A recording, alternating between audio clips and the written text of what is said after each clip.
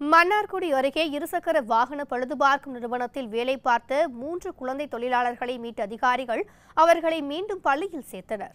திருவாரூர் மாவட்டம் மன்னார்குடி பந்தலடி பகுதியில் உள்ள இருசக்கர வாகனங்கள் பழுதுபார்க்கும் நிறுவனத்தில் பதினெட்டு வயதிற்கு உட்பட்ட மூன்று குழந்தை தொழிலாளர்கள் வேலை பார்த்து வருவதாகவும் அவர்களிடம் கடை உரிமையாளர்கள் அதிக வேலை வாங்குவதாகவும் தொழிலக பாதுகாப்புத்துறை அதிகாரிகளுக்கு தகவல் கிடைத்தது. இதனை அடுத்து தஞ்சை தொழிலக பாதுகாப்பு மற்றும் சுகாதாரத்துறை இணை இயக்குநர் தலைமையில் பத்திற்கும் மேற்பட்ட அதிகாரிகள் அப்பகுதிக்கு சென்று கதிரவன் கவியரசன் ஹரிஹரன் ஆகிய சிறுவர்களை மீட்டனர். பின்னர் சைல்ட் லைன் அதிகாரிகளிடம் அவர்கள் மூவரையும் ஒப்படைத்தனர்.